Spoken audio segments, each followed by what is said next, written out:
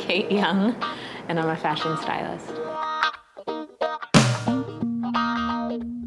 After college, I worked at Vogue for a number of years as an assistant, and I wanted to be a sittings editor at Vogue. I thought it sounded like the most fun job, so I just sort of assisted people and assisted people until I became a stylist. I work as a stylist for magazines and I work on photo shoots and then also on ad campaigns for fashion designers.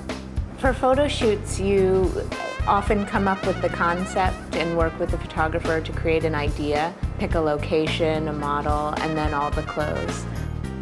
On the actual shoot, you, you make the outfits and get the girl ready and create pictures. I also work as a consultant for designers and I help to style their shows. And then I work with celebrities to help to create a look for them when they're doing press for movies and also for award shows. And it's not glamorous at all. When I'm dressing people, I really like to think about their personalities. Usually you're doing like a little press run for a junket, so you know that there are going to be maybe 20 events.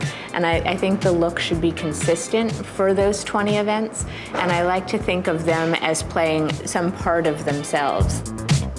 You have to establish what your personal style is, and then you can make it a little more glamorous or a little more day or a little more evening. When you're shopping, the more you can think of pieces that will work with the rest of the items you already have, and sort of build a wardrobe of basics that can change new items into all different looks. That's how your wardrobe needs to function.